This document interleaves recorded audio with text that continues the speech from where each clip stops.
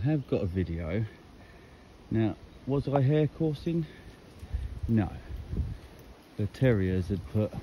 Oh, yeah, I mean, was walking down there. The terriers had put the hare up, and yeah, maybe one of the dogs was a greyhound, but I didn't really course it. They chased it. It went into those woods, I think, because they did chase it across two fields.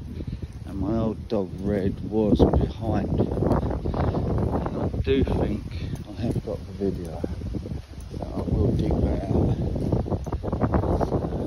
Yeah, a lot up there.